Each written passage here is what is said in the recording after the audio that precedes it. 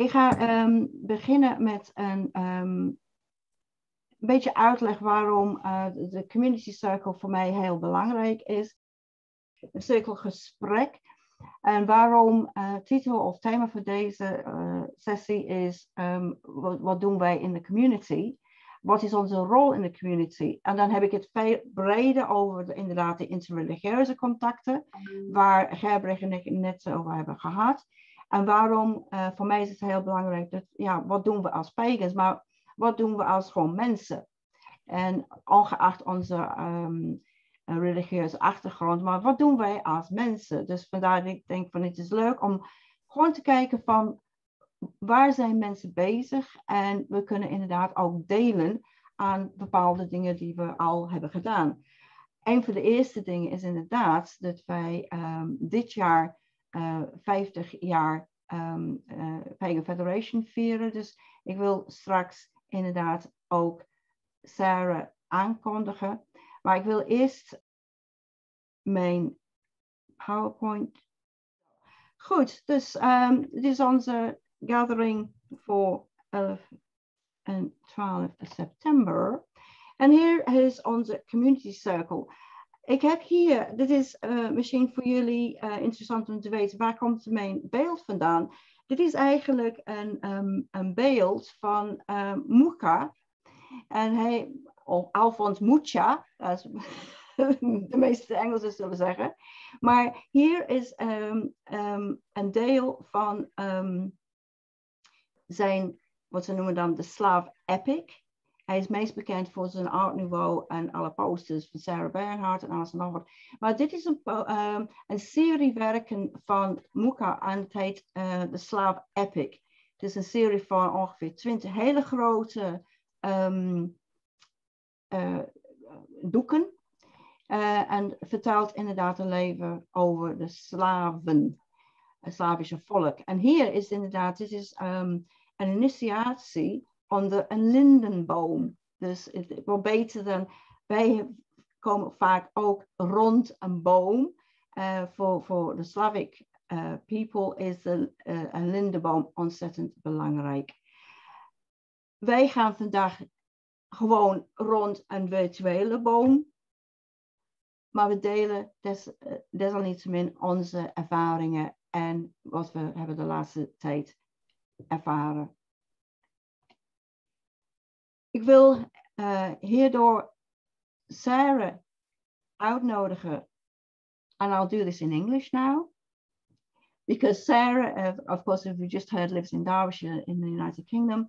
Um, and it was very, very, um, very auspicious year this year because we were celebrating 50 years of Pagan Federation. Now, uh, for, for everybody who doesn't realize, Pagan Federation International was born from, born out of uh, Pagan Federation and uh, PFI uh, exists since about 1997. So of course, Sarah has, uh, knows a lot about PFI as well, but I said it would be very good for her to just tell us a little bit more about Pagan Federation, what it means 50 years as activists. So Sarah, please go ahead. Thank you, Morgana. Okay, so um, I, I did prepare a little bit of something for today, so um, I shall uh, I shall just um, do a little bit of, of reading for you.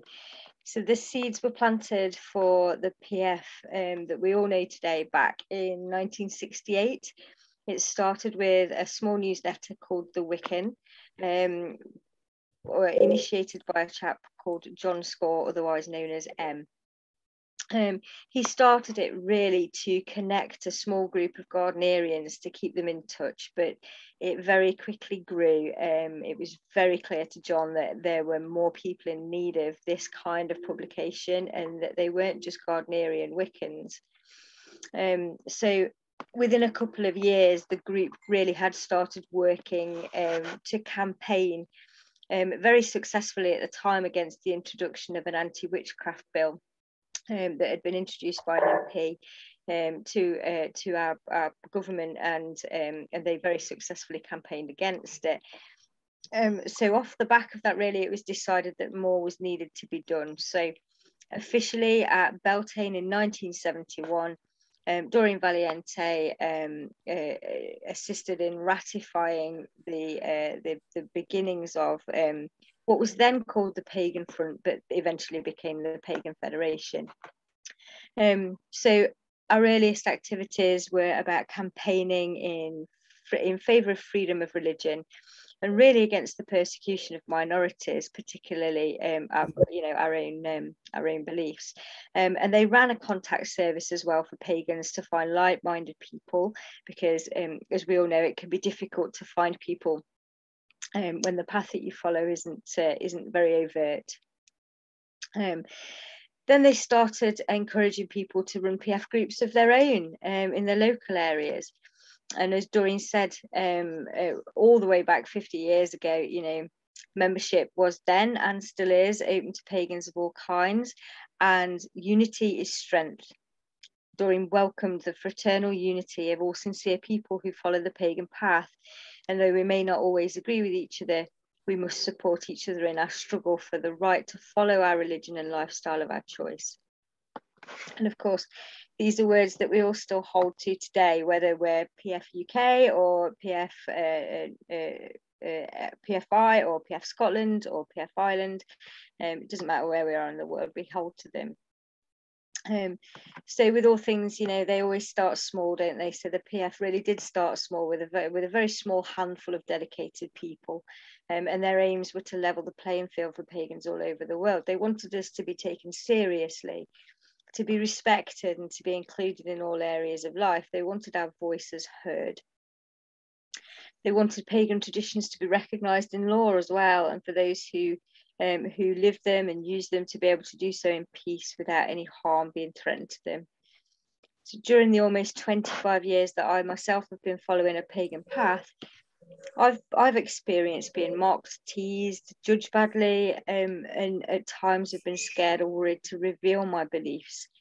Um, and the stories that I've heard, particularly while working with the PF over the last few years, have mirrored my own experiences, and much worse as well. I'm sure we've all heard tales of, of people being persecuted for their faith. Um, so in this last year, um, some of the work that we do is around something called advocacy. So we um, we help people with the problems that they're having in areas of their life um, where paganism becomes an issue for them. Um, so not paganism and their beliefs themselves becoming an issue, but but other people having an issue with them practicing them in some way or another. Um, and you know that's that's a lot of what we do. Um, we we've achieved quite a lot in the last 50 years around that theme around ensuring um, that, that the rights of pagans are upheld and enshrined in law so we've worked with governments and, and various institutions and organizations um, obviously, we appealed against the Anti-Witchcraft Act that I've already mentioned. We've secured religious, religious exemptions here in the UK to be able to carry knives securely to and from rituals. Um, um, we've even secured a, an oath for pagans to swear on when in court so that they don't have to hold on to a Bible. Um, alongside that, back in the late 80s, early 90s, um, the PF were key in turning the tide against the satanic ritual abuse myth. We've worked alongside the Interfaith Network, the Religious Education Council. Um, here in the UK, we've worked alongside the Law Commission. We're very pleased to report that the wedding laws are being overhauled now.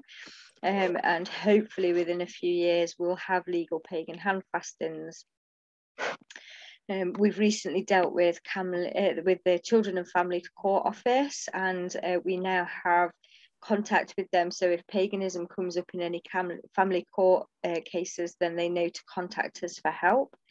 Um, and we've grown our offering as well. We don't just offer local groups now for contact with pagans, we also go into specific life problems that people have as well. So we now have community support teams to support those in our community who are disabled, um, have families, um, because as we all know, pagan um, uh, uh, practices don't always, the, the, groups that meet are always family friendly. So we're helping people to become family friendly and also to provide resources for those families to help their children grow up pagan. Um, we support quite a lot um, of LGBTQIA people who are also pagan. Um, and we've just established a, a, cultural cohesion team, which helps us to understand um, uh, pagan cultures that aren't our own. Um, and to help us build connections with them so that we all feel connected, so that we all feel protected, and so that we can offer our services to them too. Um, we've recently started building links to the defence community. Scottish PF have run a discrimination survey, which um, the results that were provided weren't entirely surprising, but definitely showed us that the work is still very much needed.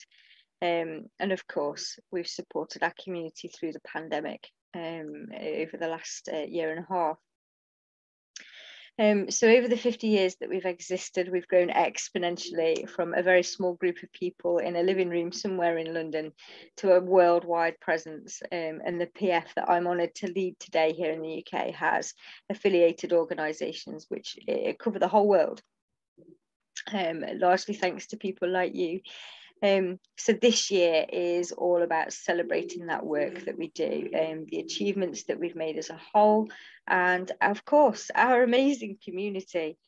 Um, we've been hosting, we're just about to open event number four next Saturday um, uh, of, of, a total of nine events that are, that are running throughout this year. Um, so we've already had the opening ceremony at Beltane last year. Uh, Morgana uh, very kindly hosted a special edition of Round the Fire for us at summer solstice. Um, I, I, can only imagine what our founders would have thought to have seen us doing that sort of 50 years ago. Um, we held an academic festival in July and we're just about to host the district celebration. As Morgana said, we have uh, areas within the UK um, and they're all very unique. They're all very different to each other, um, and they all have their own traditions and their own um, their own uniqueness and their own achievements. Um, so next Saturday is about us celebrating those districts. At Samhain, we're going to have a, an ancestral storytelling festival, um, which will include a writing workshop as well for you to develop your own tales. Our community support teams are running a festive event at Youghal. Um, at Imbolc next year, we're going to run um, a community organisation event, um, which I'm hoping, um, we, we haven't ironed out the details yet, but I'm hoping that all the PF uh, organisations across the world, PFI, PF uh, England and PF Scotland and PF Ireland are going to come together and look at how we're going to move into the future, how we're going to work together, how we're going to help our community as one whole unit. Um, and then in spring uh, spring equinox next year, we're going to have uh, we're going to collaborate with Scottish PF um, to brag about all things pagan. Essentially, we're running a pagan pride event, and then last but not least, we're actually holding a, our first physical, our only physical event this year, um, and it'll be an arts festival in Yorkshire, um, celebrating um, all those amazing pagan artists that we've got across our community um, and we'll be uh, announcing our community award, which we announce at Beltane every year. Um, so we've got lots of projects on the go um, at the moment. We're reviewing all our member services. We've got some really special things to announce later in the year, including the Pagan Legacy Project, um, which I'll take questions on shortly. Um, and um, we're also setting the foundations for the next 50 years to come. Um, so we are literally this week going to press the button on our charity application, hoping to transform us from an organisation into a charity organisation and that will hopefully um, give us access to more funding, um, give us more respect in, in the general uh, populace, um, and give us access to more opportunities to help our community as well. Um, so as a finale, I would like to um, just mention a few of the people who have been key in us getting here along those 50 years. Um, without these people, and there have been many more, um, I, I, I couldn't even begin to talk about every name that's helped us throughout the years, but these are the ones that most people would um, would immediately think of when they think of the PF. Um, so I'm just going to uh, uh, run through this uh, this list of names briefly. Um, so in the beginning there was John Score, Prudence Jones, Jean Williams, Zach Cox, John and Kitty McIntyre, Chris and Vivian Crowley, Pete Jennings, Belinda Winder, Michelle Edwards, Pam Gardner, Pat Pitts, Steve Ludford, Dave Bracey, Barry Bartholomew, Morgana Sitho, Ray Sweeney, Adrian and Anne Byrne Evans, Cassandra Latham, Lindsay Long, Mike Steigel, Robin Taylor, Steffi Von Scott, and the current PF committee, who are Emma Hall, Chris Holmes, Keith Tovey, Rich Blackett, Dan Courtis, Andrew Trozok, Helen Mobius, Melissa Wheeler, Anne Edwards, and Lee Smith, because without them, we couldn't do the work that we're doing. Thank you all very much for listening. Um, I uh, any questions? Yeah, it's quite. It's, I was just put I put this slide up with um, mentioning around the summer solstice, and one of our biggest fans, and one of the, the people who's been really very um, really helpful to me has been Selena Fox, of Selena course. Fox, yeah. And what I just want to mention is, uh, and you haven't mentioned it, Sarah, that the I haven't I mentioned Pagan it. Federation and Pagan Federation International and Circle Sanctuary are going to be at the Parliament of we are Yes. yes, yes, yes. That's why I just thought it's good to um, mention Selena because yes. Selena is one of the most um, active pagans, obviously, in, in the United States, and she's done so much work for Circle Sanctuary. And she just loves the whole concept of uh, PFI. And of course, she was saying in the um, summer solstice celebration we had that her connection with Pagan Federation goes back almost all those 50 years. So um, again, you were describing the, the, the, the roles we're playing. And of course, Pagan Federation in the beginning was very much concerned with anti-defamation work, as you pointed Absolutely. out. But yeah. these days, it's much more to do with community work, and we see this bigger um, move towards working together. And again, a Parliament, uh, you know, I have not had so much presence of the Parliament as this year. And um, I'm really, really honoured that uh, PF Scotland, and uh, I'm going to include Sarah as well from PF again in our panels. They've got panels as well. So it's, it's absolutely brilliant that we are now also really, as Selena says here, we now have a seat at the table. We do. We stop the hate and bring more love, peace, justice, equality, and a sustainable environmental future. And I think this is the heart of the matter, don't you, Sarah? That it's yes. so important that we we don't look at, at, at um, the differences, but we, we, well, the differences we can look at, but our general um, attitude is to let's see what our commonalities are. Let's join together in environmental issues and see how we can be the voice. And I think this is important, um, certainly on the interfaith um, arena or circuit, that we are the voice of those who have no voices. Absolutely, absolutely. And I think um, I think that's the because a lot of people first question the community teams when we launched them and um, and as as we pointed out you know we've long been advocates for those who haven't had a voice and um, and disability issues and lgbtqia issues are no different from our own really um, and we have large sections of our community that sit within those groups too and to have their voices heard from their own perspectives as pagans is incredibly vital to them. Absolutely. So spreading our wings in that respect, especially like you say with interfaith and disability rights and all that kind of thing, actually makes a lot of sense.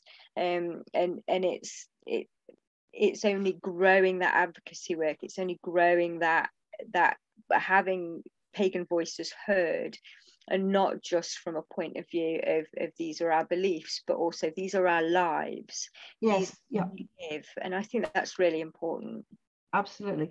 So if anybody wants to have a, a, look again at the Around the Summer Solstice Fire, I've got the link here. I can uh, send the link, I'll, I'll put it on um, Pagan,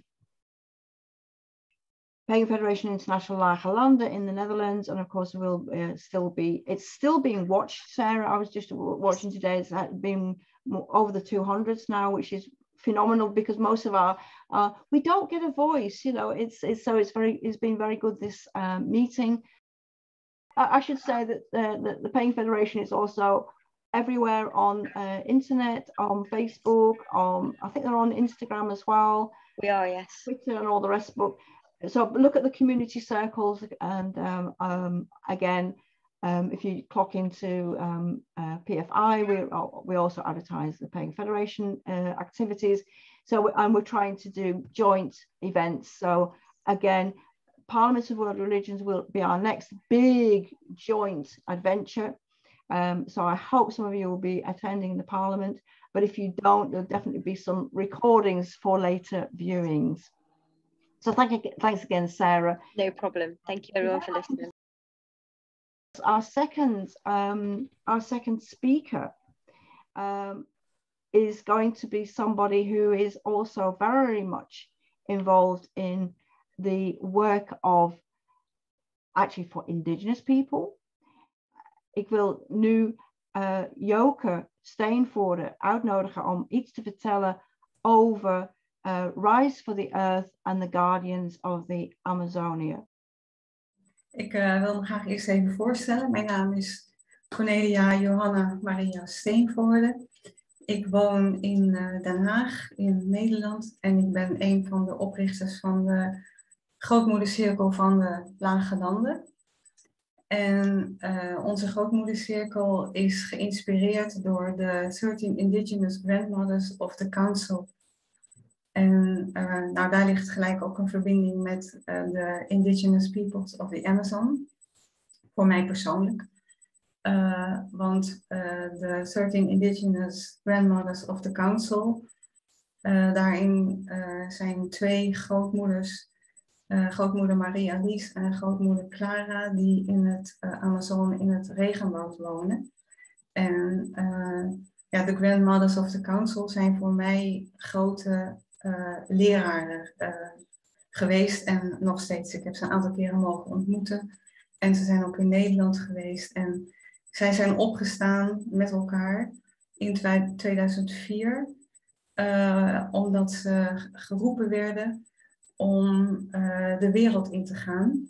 En vanuit de zorg om over hoe het met moeder aarde gaat en alle ontwikkelingen, hoe wij mensen leven in relatie, of niet meer in relatie in feite met onze natuurlijke omgeving, met moeder aarde, met al wat leeft, dat die verbinding verbroken is. En zij zagen hoe rampzalig de ontwikkelingen zijn en daar zorg over hadden. En uitgenodigd werden om hun indigenous knowledge te gaan delen. Tot dan toe waren ze in hun eigen gemeenschap uh, heel actief als medicijnvrouwen, als shamanen, als uh, teachers. En was het kennis binnen hun gemeenschap, maar zij zijn geroepen om uh, de wereld in te gaan en hun kennis te delen. En um, nou, vanuit de grootmoedercirkel van de Lage Landen um, is een van mijn zusters is Irene Hardidakis. En die is in het ontstaan van uh, Rise for the Earth, Standing with the Guardians of the Amazon, een uh, ja, hele belangrijke uh, zuster. Zij heeft meen begin augustus vanuit de Amazone, vanuit activisten daar, een hartekreet gekregen van weet jullie wel wat hier gaande is? Weet jullie wel ehm, dat de rechten van de indigenous peoples in Brazilië, uh, nou ja, eigenlijk niet meer in een wet die voor ligt, niet meer gerespecteerd worden. Dat ze vervolgd worden, dat ze niet meer kunnen hoeden het land waar zij zo'n verbinding mee hebben en de kennis die zij hebben. En weet jullie wel dat het niet alleen ons betreft in Brazilië, maar jullie ook. Want we zijn samen verbonden. Uh, als we hier ademhalen, dan is daar verbinding met de bomen. Is de, bomen zijn in verbinding met de andere bomen. En alles en alles is interconnected. En wij ook. Dus wat er hier gebeurt in Brazilië, um, met de rechten van inheemse mensen, met um, het vernietigen wat er al gaande is, van de uh, natuur en de biodiversiteit in de Amazone. Maar als die wet werkelijk aangenomen wordt, dan uh, zijn alle indigenous peoples uh, ja, vrij gevochten, dan kunnen ze van hun land nog verder verdreven worden, hebben ze helemaal geen rechten meer. En ja, zal het systeem, de, de mining, de houtkap, nou, alle natuurlijke bronnen zullen nog verder geëxploiteerd gaan worden. En ja, de longen van de aarde, de longen betreft ook ons. En uh, beseffen jullie dat? Nou, die hartekreet die kwam in ieder geval bij Irene uh, heel diep binnen, want dat is haar hele wezen, zeg maar, waar ze mee verbonden is. En zij heeft het in haar netwerk de hartekreet verspreid. En um, ja, verschillende mensen hebben gevoeld van wauw, um, hier willen we iets mee, hier willen we dienstbaar aan zijn. En um, uh, dat zijn mensen die verbinding hebben met uh, medicinale planten die uh, er zijn in de Amazone. Het zijn mensen bijvoorbeeld van het Nederlands Centrum Inheemse Volkeren die zich verbinden aan de, de hartenkreet vanwege de rechten van de inheemse mensen, inheemse volkeren. Ehm, er zijn mensen die zich verbonden hebben met de Rainbow Circle of de Lowlands. We staan vier keer per jaar in ceremonie voor het Vredespaleis met elkaar en uh, om te bidden voor de vrede. Uh, ook die mensen voelden zich aangesproken. Ehm, vertegenwoordigers van het Amifuru-volk. Dus op haar hartekreet zijn een aantal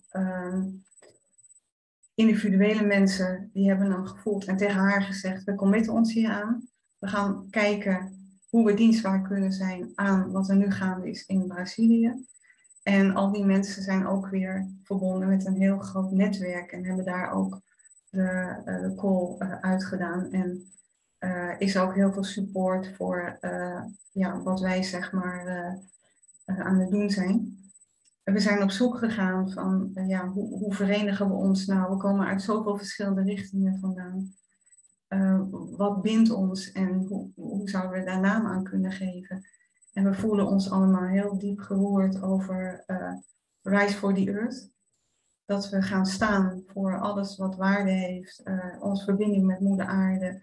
De verbinding met al levende wezens om ons heen. Onze eigen natuur zijn, die verbinding. Dat we in alles wat er nu gaande is in het huidige systeem, dat wij onze stem laten horen. Ik hoorde net Morgana al zeggen, uh, be a voice for the voiceless. Nou, dat is ook een, een heel duidelijke uitspraak van een van de grootmoeders van de council.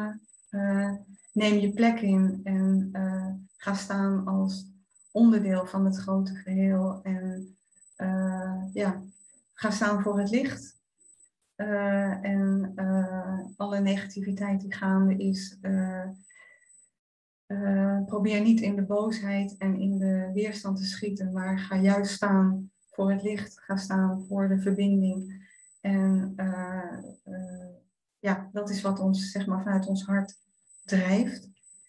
En het tweede deel van onze naam Standing with the Guardians of the Amazon is omdat deze cirkel echt gevormd is om vanuit de hoek uit de Amazone en om daar op dit moment dienstbaar aan te zijn. En onze grote call die we gezamenlijk voelen is veel groter, maar dit is op dit moment waar we ons aan gecommitteerd hebben. En we zien wel wat eruit mag groeien. En uh, de eerste ehm, activiteit waar, we, waar je nu foto's uh, van ziet, is dat we gezocht hebben hoe kunnen we dienstbaar zijn en op welk moment kunnen we, uh, is passend en uh, dienend aan het proces wat gaande is. En dat was 25 augustus. Toen uh, werd de wet in de, de Brazilian Supreme Court um, door de rechters uh, besproken en zou er eigenlijk een uitspraak gedaan worden over de landrechten van de indigenous peoples. En in Brazilië zijn, is er een week lang, week lang een kamp gehouden. Van, ehm, er zijn iets van 5.000, 6.000 mensen uiteindelijk geweest. Uit allerlei verschillende tribes zijn ze samengekomen om ook zich met elkaar te verbinden, hun stem te laten horen en ja, te bidden, te zingen, te dansen, dat de rechters ehm, ja, ook vanuit hun hart een uitspraak zouden doen die hun rechten zou bevestigen. Ehm, de 25e was daarom voor ons een anker, als uh, cirkel, net verse cirkel, om uh, te staan voor het Vredespaleis. En we hebben juist gekozen voor het Vredespaleis, omdat uh, enerzijds, ik noemde Irene al, en samen met Irene is al jarenlang dat er een heilig vuur brandt vier keer per jaar voor het Vredespaleis. Dus daar is, de, de, de, plek is al heilig en is al heel erg gevoed door de jaren heen. En uh, het is ook de plek van het International Court of Justice. Dus uh, in onze beleving uh, ook een symbool naar de rechters toe in Brazilië. Van wij staan hier, wij willen verbinding maken met het recht en vanuit liefde en vanuit vrede. En ja, dat vredespaleis is dan wel een heel krachtig symbool ook naar de rechters uh, in Brazilië. We hebben, uh, om dat zichtbaar te maken, een livestream georganiseerd met Brazilië. Zodat de mensen daar, die op het plein waren en de rechters daar, onze ceremonie ook konden zien en konden voelen dat we hun supporten. We hebben uh, als intentie gehad het dienstbaar zijn aan uh, onze Indigenous brothers en sisters, maar ook uh, bidden dat uh, de rechters vanuit het licht en vanuit hun hart tot hun beslissing zouden mogen komen. Dus we hebben ook een altaar gemaakt in het midden, dat zie je op een van de foto's, waar alle foto's van de rechters stonden en foto's van de, de dieren en de planten en de, de, de kinderen uit Brazilië en belangrijke leiders van Brazilië. En daar hebben we ook uh, het licht en het water geplaatst. En dat was een heilig centrum waarop we onze liederen en onze gebeden en ja, al onze aandacht zeg maar naar, uh, naar gericht hebben. Um, rechts zie je Irene staan, mijn zuster van waarover ik sprak, die echt uh, de drager en het, het visioen gedragen heeft van wij moeten daar staan voor het Vredespaleis met zoveel mogelijk mensen. En uh, ja, wij gaan dienstbaar zijn. Um, nou, het was heel mooi om te ervaren uh, een, een, cirkel van een aantal vrijwilligers, maar dat we zo enorm gesupport zijn door allerlei mensen, ook bijvoorbeeld Morgana, die, die weer een hele groep mensen heeft en ons ook in verbinding gebracht heeft met weer mensen in Brazilië. En nou, van alle kanten werd het gevoeld en gedragen dat. Uh, en we zijn echt opgetild uh, uh, ja, in die, in die ceremonie. we hebben liederen gezongen die in het Portugees, die ontvangen zijn van indigenous mensen uit Brazilië. liederen voor het bos, liederen voor de kinderen. We hebben ook Nederlandse liederen gezongen. We hebben gedrumd ja, het was, het was echt een beleving, hè, Joke? Het was, um, ja. Uh, we hebben natuurlijk de verbinding met um, de mensen in Brazil. En ja. wat een van de, de leuke dingen, en Carola zal het ontzettend leuk vinden ook om te weten, dat hier, in deze foto hier rechtsboven, uh, of linksboven, sorry, is Salet. Salet is onze uh, Global Trustee voor Latin America. En die woont in Brazil. Dus dat is een. Uh, ik heb um, Irene en Salet in contact gebracht. Want Salet is ook, je ziet het, ze is helemaal bij die uh, indigenous people in de kampen.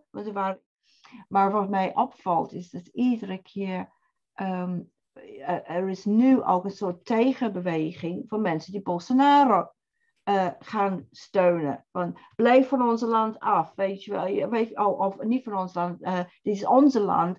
Um, en nu zoals hij zei over, als het zo doorgaat, komt een hele politieke onrust in, in, in Brazil. Omdat gewoon, het is zo tegenstrijdig. De, de indigenous people aan de ene kant, mensen die willen gewoon de economische steun en willen gewoon de Monsanto's van deze wereld. Of ze hebben ook spirituele hulp nodig. Dus ik denk dat onze, wat Irene doet ook, is dat wij, we staan niet alleen ehm, gewoon uh, om, om, een geluid te maken, maar we staan ook mhm. achter hun geestelijk.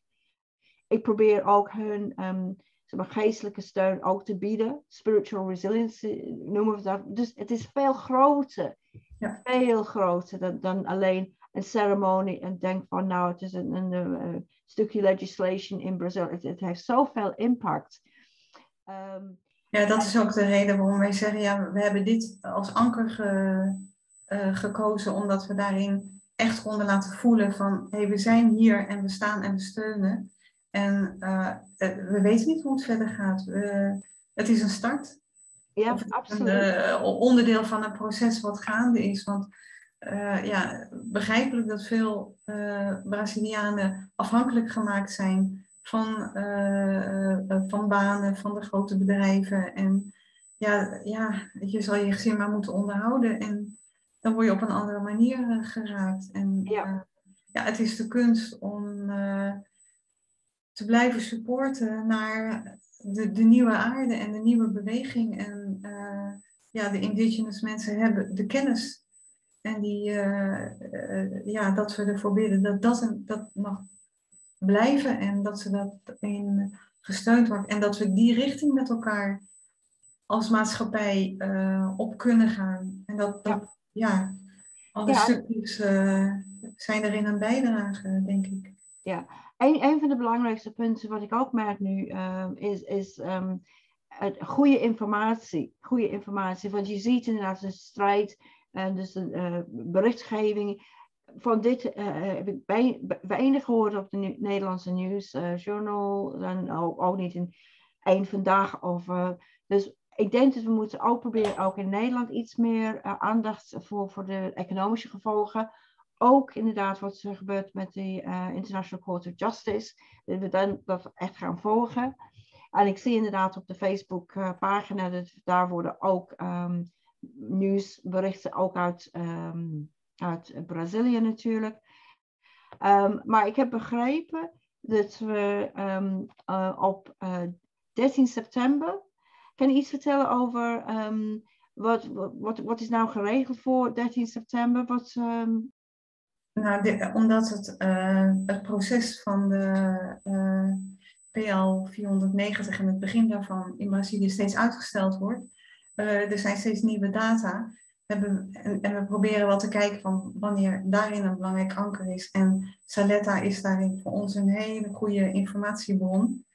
Uh, hebben wij uh, nu 13 september gekozen, omdat dat is de, de dag waarop in 2007 de internationale rechten van de inheemse volkeren door de VN ondertekend is en ook door Brazilië ondertekend is. Ja.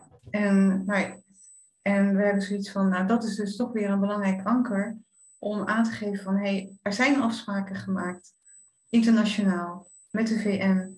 Ehm, en ja, wij staan dus weer voor het Vredespaleis, uh, omdat die plek toch, uh, uh, we, we, feedback gekregen hebben van de mensen uit Brazilië, dat dat een, een, een ja, een mooi zichtbaar anker is ja. Eh, voor hun als steun. Dus en voor ons is het ook een heilige plek. En we zullen daar weer in ceremonie staan. Ja, ja. Nogmaals, het is ontzettend leuk dat, uh, dat jullie dit organiseren. Voor, ons ook in Nederland is het gewoon van hoe kunnen we actief bezig zijn. Ik denk dat een heleboel mensen zeggen van het is, het is, het is leuk om het in, ja, af en toe in de krant te lezen en, en, wat dan ook. Maar ten eerste weet je niet of het allemaal waar is. Wie krijgt de boventoon? Is, is Bolsonaro inderdaad toch wel uh, heel populair nog steeds. Of hoeveel mensen zijn er tegen, et cetera, et cetera. Dus ik denk dit soort actie ontzettend belangrijk is om, om gewoon de community uh, een beetje op de hoogte te stellen. Nou ja, ook dat ze dus, uh, als die wet aangenomen wordt, dan staat erin dat de indigenous mensen moeten aantonen dat ze landrechten hebben. Ja, ja en dat kunnen ze niet. Ze hebben een geboorterecht. Ja, en ik, ik denk ook, uh, wat ook heel essentieel is, wat we nog niet benoemd hebben, dat we niet alleen blijven wijzen naar anderen en naar het systeem, maar dat we ook uh, onszelf, en daar zijn jullie natuurlijk ook heel erg mee bezig, erkennen van hé, hey, wij zijn ook inheems van deze grond, van deze aarde. En het is nog een hele weg om dat ook echt te leven in verbinding met de grond en de aarde en de bomen en, en, en natuur te zijn als onderdeel en mee te co-creëren de, de, nieuwe, de nieuwe aarde. En dat je dus ook, ook wij onszelf een spiegel mogen voorhouden van ehm, wat is er in mij nog wat ik mag veranderen, waardoor het in de buitenwereld ook verandert. Ja, absoluut. Morgen geef ik inderdaad ook een, uh, een, een, ceremonie of een opening. En die gaat met name over de drie dames uit Duitsland, oftewel de matronen. En ik denk, ja, dat zijn uh, grootmoeders die, die altijd geweest zijn. En het is moeilijk om te zeggen, ja, ze komen uit uh, de vijfde eeuw voor Christus of whatever. Die zijn er altijd geweest. De moeders zijn altijd geweest. En uh, het besef... wij, wij zitten hier in een gezelschap van vrouwen, dus ja, wij zijn ook allemaal voortgekomen uit die moeders. En exact, exact, exact. Dus ik probeer ook um, voor weer PFI ook mensen duidelijk te maken dat we, we, we zijn um, indigenous to the earth. En um, dat is heel erg moeilijk. Maar ik wil je heel erg hartelijk danken voor, voor, voor uh, aanwezigheid natuurlijk. En een beetje uitleggen hoe dit zit met die um, uh, Rise uh, for the Earth. Nogmaals, jij zegt ook, het is, het is niet iets van de laatste tijd, maar het is gewoon een ongoing process. Maar dat we met elkaar ook steeds meer bewust worden van en, en ook elkaar steunen. Dat vind ik het uh, juist het belangrijkste, Joke. Wij zijn nog steeds uh, niet klaar met onze community uh, circle. Want ik wilde Carole vragen. Um, ik wil Carole voorstellen. Carole is mijn colleague bij URI Netherlands. ze is ook Britse, dus wij schieten ook af en toe in het Engels. Dus dat maakt allemaal niet uit. Maar wij zijn ontzettend uh, ook ingenomen met uh, ja, hoe kunnen we inderdaad onze werk uh, delen en ook mensen meer bewust worden van, bewust worden van schending van hu human rights, et cetera, et cetera. Dus daar gaat deze um, presentatie een beetje om wat wij als URI hebben in de laatste tijd ook gedaan. Mijn naam is Carola Goodwin. Ik, ben ik woon hier net zo lang als uh, Morgana hebben we ontdekt. Rond de 50 jaar, dus ik spreek Nederlands. Um, ik ben bezig met Morgana binnen de URI, dus met interfaith projecten, om meer dialoog te krijgen in het veld. Dat heb ik een aantal jaren gedaan voordat ik kwam bij de URI. Uh, helaas met de uh, pandemie is het wat moeilijker geworden. Alleen maar met Zoom was het mogelijk. Wij proberen dat nu een beetje nieuwe leven in te blazen door ieder maand een dialoog te doen over een bepaald onderwerp. Wij op 22 augustus, heeft Morgana een fantastische presentatie gegeven over the International Day commemorating the victims of acts of violence based on religion or belief. En ze heeft een hele mooie presentatie gedaan over uh, the Istanbul Convention on Domestic Violence and Violence Against Women. Omdat het was een tien jaar bestaan van die convention. En uh, zoals misschien jullie weten dat Istanbul heeft zichzelf verwijderd van die convention. Daar waren veel protesten. Uh, en tijdens de pandemie is het meer actueel geworden, omdat er zijn veel meer domestic violence tegenover vrouwen. En ook nu met uh, wat is gebeurd in Afghanistan, van hoe gaan we om met al die refugees, die vrouwen die willen uh, vertrekken, dat, dat wordt wel uh, in de conventie wel aangestipt over hoe ga je om met refugee vrouwen. Dus het was ontzettend interessant en daar waren ze dat ineens kwijt. Dus we hebben via URI met heel veel pijn en moeite een PayPal kunnen uh, doen waar, uh, als charity status. Dus wij willen dat zeker weer oppakken. En als ik hoor al die verhalen van Amazonia, ook dit is een manier dat, dat we weten dat het geld gaat niet in een potje van iemand. Het gaat direct naar de mensen die het goed kan gebruiken. Dat, dat doen we via contacten zoals Celeste uh, en, en Rosaria binnen URI. Nou, zoals je ziet, uh, bij deze, we, we zijn naar de Faith and Freedom Summit. Nu doen we dat via Zoom, maar dit was een keertje toen we gingen naar Brussel. Um, en dat is altijd leuk om te zien wie er komt, uh, wie er komt verschijnen. Ik vind het belangrijk dat de pagans en ook die kleinere groepen. Ik ben zelf uh, van de Church of Scientology, dus ook een relatief uh, buitenstaande kleine groep die probeert uh, mee te doen en erkenning te krijgen van wat, wij doen binnen de maatschappij. Nou, dus wij hebben heel veel plezier met elkaar, Morgana en ik. Zij houdt me heel scherp, omdat uh, er is heel veel gaande. En uh, zij weet precies, oh, van dit is gaande, daar moet je zijn, die kan je, ik kan niet alles volgen. Morgana doet veel en veel meer dan ik. Maar ik vind met de Pagan Federation is een echt een hele waardevolle um, binding. Wij zijn de URI eigenlijk. Wij zijn heel belangrijk uh, hier in Nederland in ieder geval. Wij zijn uh, uh, de doers.